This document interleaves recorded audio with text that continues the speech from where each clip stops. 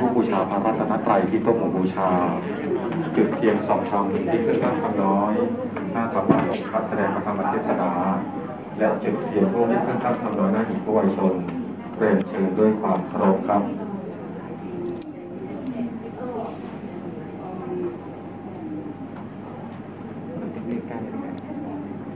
จะได้เห็นชัดๆ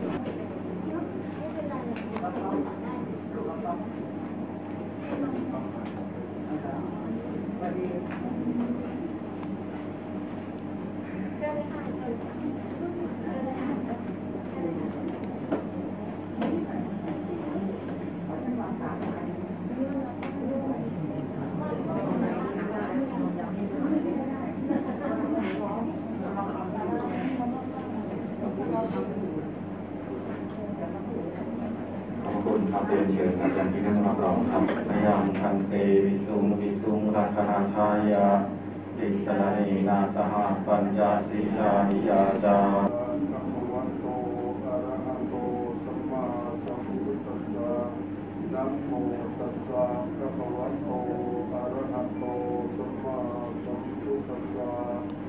นะโมตัสสะภะคะวะโตอะระหะโต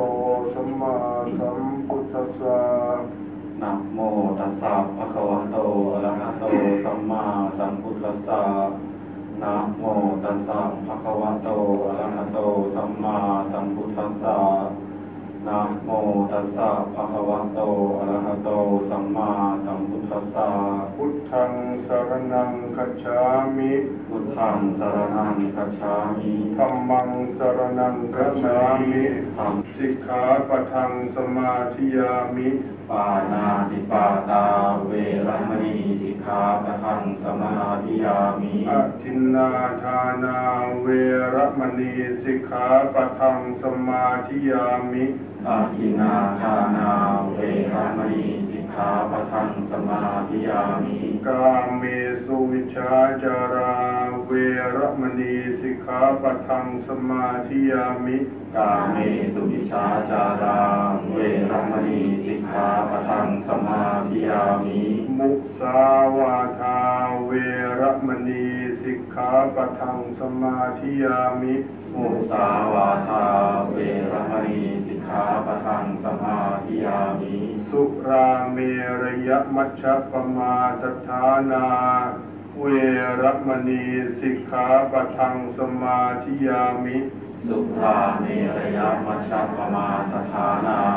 เวรมณีสิกขาปะทังสมาธิยามิ อิมานิปัญจสิกขาปทานิสีเลนะสุขติงยันติสาธุสีเลนะโภกสัมปทาสาธุสีเลนะนิพุติงยันติตัสมาสีรังวิโส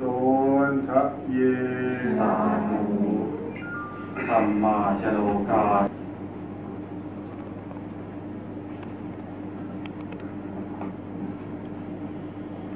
นะโมตัสสะภะคะวะโตอะระหะโตสัมมาสัมพุทธัสสะนะโมตัสสะภะคะวะโตอะระหะโตสัมมาสัมพุทธัสสะนะโมตัสสะภะคะวะโตอะระหะโตสัมมาสัมพุทธัสสะ อติตังนานวากมยปฏิกังเขอนาคตังเอกบทนะยะต้นติว่าอติตังนานวากมยปฏิกังเขอนาคตังยะทติตัมปจินันตังอปัตตัญจานาคตัง สรุปความได้สั้นๆว่าเหมือนน้ำที่มันไหล ไปตามกระแสของมัน แล้วก็จบที่ปลายน้ำไม่สามารถไหลทวนขึ้นมาอีกได้ ส่วนอนาคตที่ยังยังมาไม่ถึงก็ยากที่จะคาดเดาได้ว่าพรุ่งนี้จะมีไหมเป๊ะๆตรงๆทุกอย่างว่าพรุ่งนี้เราจะได้ทำตามที่เราตั้งใจไว้ไหม จึงให้สาธุชนทั้งหลายพิจารณาอยู่กับปัจจุบัน และการที่วันนี้คุณโยมหัดสนัยไกบุตรได้จากญาติมิตรสหายหรือว่าพวกเราไป ก็เป็นนามะอย่างบางของชีวิตอนิจจังนามรูปังทุกขัง นามรูปังอนัตตา คือทั้งนามรูปนี้ หรือว่าตัวเราชื่อนี้ร่างกายเป็นอย่างนี้ หน้าตาเป็นอย่างนี้ จะดังมากแค่ไหนจะรวยมากแค่ไหนจะจะสูงมากแค่ไหน จะมียศถาบรรดาศักดิ์ใหญ่โตแค่ไหน ก็อยู่ในกฎนี้กันทั้งสิ้นย่านิจังครับพอโดนแสงอาทิตย์แผดเผาแป๊บเดียวน้ำค้างนี่ก็แห้งแล้ว บางที อาตมาภาพก็ยังนั่งนึกใจหาย หรือโยมในที่นี้ก็อาจจะคิดเหมือนกันว่า ถึงวันเกิดแต่ละปีโอ้ถึงปีหนึ่งอีกแล้ว หรือว่าวันเทศกาลสำคัญอย่างนั้นอย่างนี้ โอ้โหแก่ขึ้นอีกแล้วปีหนึ่งไปอีกแล้วหมดไปแล้วปีหนึ่งปีหนึ่งหมด เร็วจนน่าใจหายทำให้เราเห็นว่าวันวันหนึ่งหมดไปโดยที่เราไม่ได้มีสติ เรียกว่าขาดสติเพราะไม่ได้ทำใจหรือว่าดีใจอะไรก็แล้วแต่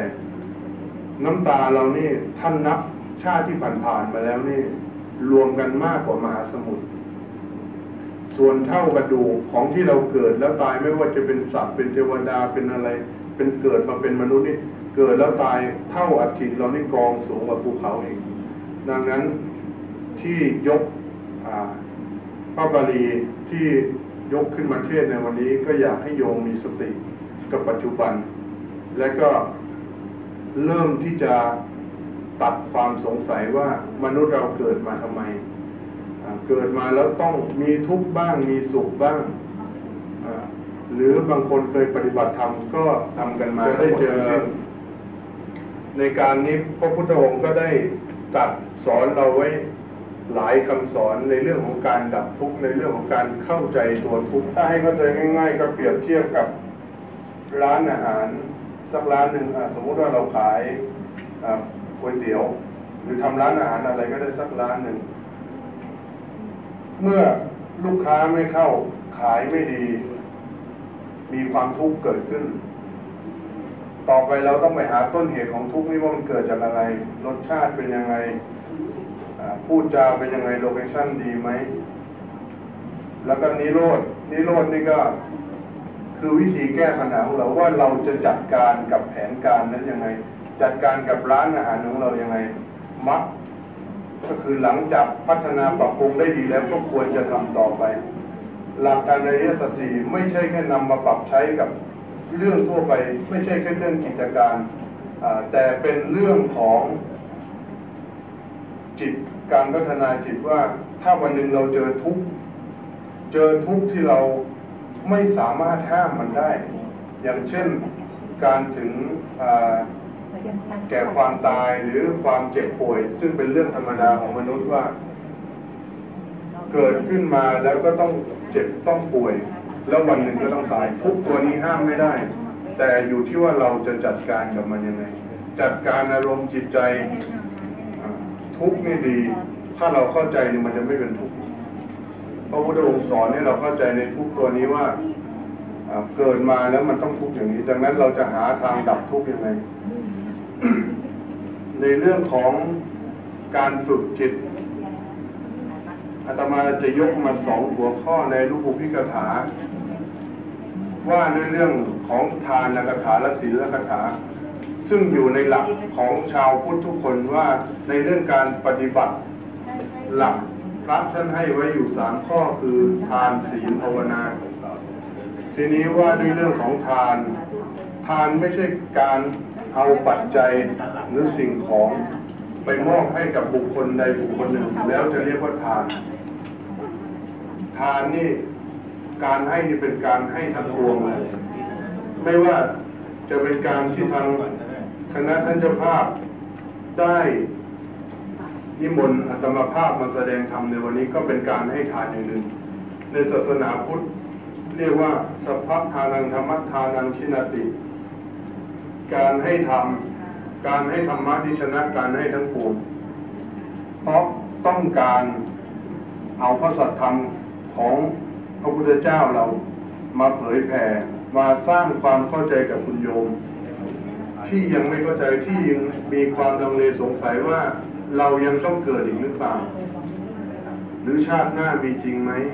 อดีตชาติมีจริงไหมมันก็ไม่ต่างจากการที่เราถามว่า